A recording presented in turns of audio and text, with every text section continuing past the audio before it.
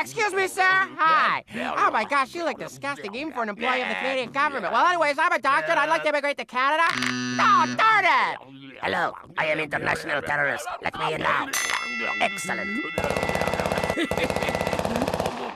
Okay, I've cut off one of my arms now. Can I get? Can I get? Oh, Ahoy, matey! I'm here to steal the wealth of your nation. Hollywood's Crocker now. Oh, I hope she has social programs for parrots. Yeah, yeah, it's me. And guess what I've done? Ah. Oh, poo. Tunga, bunga, tunga. Thank you very much. Okay, does this do anything for you? How does it? Ha ha ha. No. Okay. Well.